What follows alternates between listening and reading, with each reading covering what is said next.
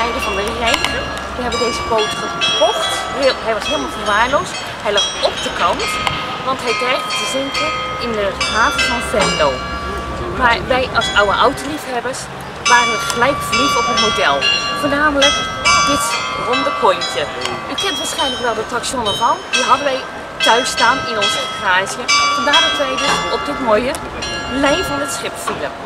Maar ja, thuisgekomen bleek het toch wel iets tegen te vallen. We hebben ook ruim drie jaar werk nodig gehad om helemaal weer een beetje te restaureren aan de buitenkant. We hebben zelfs de boot laten stralen. Uh, het houtwerk is allemaal door de schipper zelf helemaal uh, vernieuwd met oud en nieuw hout.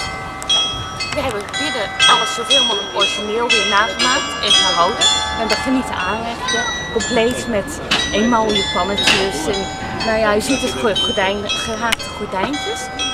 En wat wij zo bijzonder aan deze boot vinden, dat u ziet het misschien, we hebben een eigen slaapkamer, gewoon een tweepersoonsbed. Zijn we moe van het varen en te klussen, kunnen ons even terugtrekken in ons tweepersoonsbed. Menig bootbezit is daar jaloers op. En wat ook zo heerlijk is, we kunnen het luik openschuiven. We kunnen altijd buiten in de zon zitten. En uh, ja, is het slecht weer, dus uh, doen we hem dicht. En hebben we weer binnen een uh, gezellig zitje. Heb jij nog iets te vertellen van de boot? Nee, nee, nee. Dat het een hoop werk was zeker. Ja, dat Maar dat ben je toch al heel lang vergeten, of niet? Nou, nog niet. Nog niet vergeten?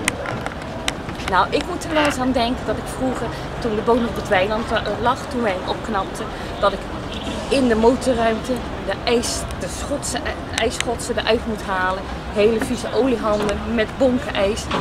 Ik dacht, zou ik er ook nog eens aan terugdenken? Nou, ik denk er vaak aan terug. Maar ik ben blij dat we zo ver gekomen zijn en ik ben heel trots op ons, op ons huisje.